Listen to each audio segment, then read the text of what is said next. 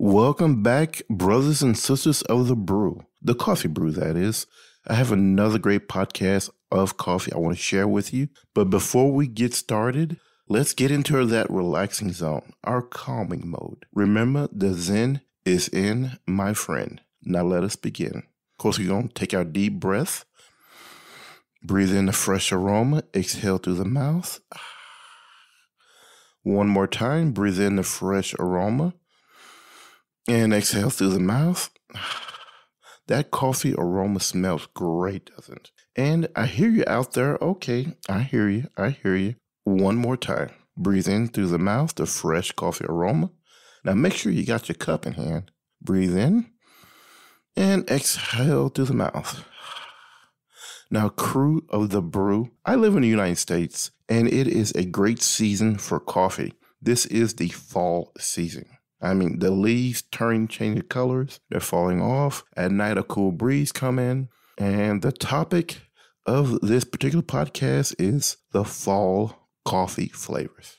Now, I'm going to go over a few flavors, but not all of them. And maybe in future podcasts, hint, hint, the next one, I'm going to go over several more fall flavors. The first fall flavor is caramel apple coffee. That name alone sounds good, don't you think? It's got me hooked right there. Now, throughout the fall season, we in the US, we have lots of fall festivals, carnivals, events, some rodeos. But one of the most important items at all of those events are caramel, some people say caramel, apples on a stick. Now, we've all grown up eating these things. Uh, what's incredible is that it comes in a coffee flavor. Whoever thought of this idea, thank you so much. Uh, you definitely got my attention with it.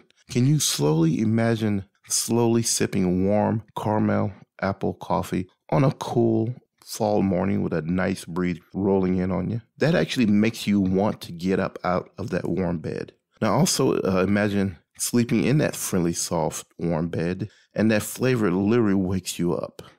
I mean, imagine a gentle kiss of fresh, warm Granny Smith's apples covered in cinnamon and caramel, a soft, gentle kiss waking you up. Is there any other way to be better woken up? And the following fall flavor is a cinnamon coffee roll. Now, I love cinnamon rolls and I love coffee. And I tried this and I love it too. Really to die for. You gotta try this. I still ended up dunking my cinnamon roll in my coffee. And man, the taste buds go off the chain. They just erupt with flavor. How in the world did they do this? They even got the buttercream icing in that flavored coffee. I mean, that is great. Imagine being woken up to that. With that alone, I can literally just sniff the coffee and be woken up. Literally be at ease, that mindset at ease.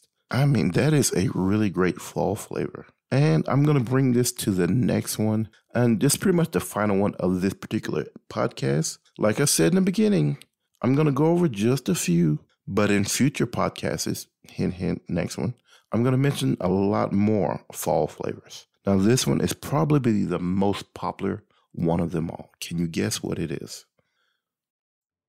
Anybody? Can anybody guess it? Any hints? Let me give you a hint. Let me just go ahead and say it. Pumpkin spice with the whipped cream topping and the little Halloween sprinkle candies on the top. You know what I'm talking about? Now, this is my favorite fall flavor. What is yours? I tell you what, email me at www.notwithoutcoffee.com. Tell me what your favorite fall flavor is. There we go with that tongue twister. Favorite fall flavors. Anyways, uh, I know this probably be is the number one of them all. I had one at Starbucks and fell in love. The flavors.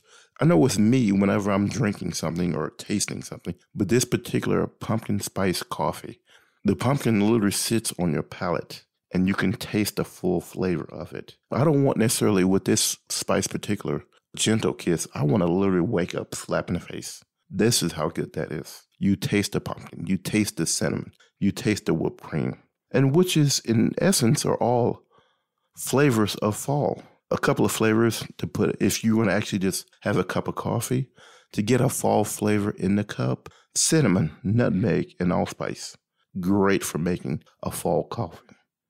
You know, another interesting thing also when you're drinking your fall coffee, where's the perfect setting for you?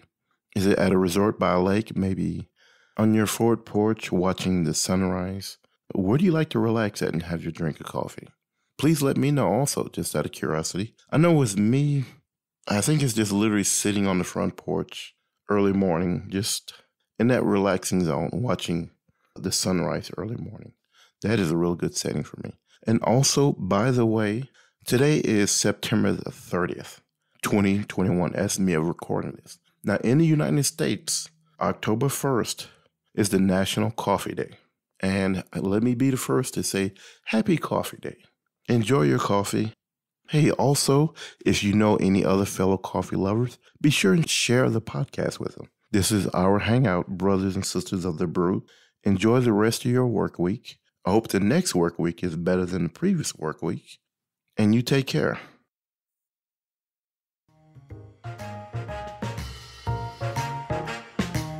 Fellow coffee lover, thanks for listening. Be sure to tune in every Saturday morning, Central USA. Also, sharing is caring, so tell a fellow coffee lover about your new hangout. To contact us, just go to our website, www.notwithoutcoffee.com. Take care and remember to always keep brewing.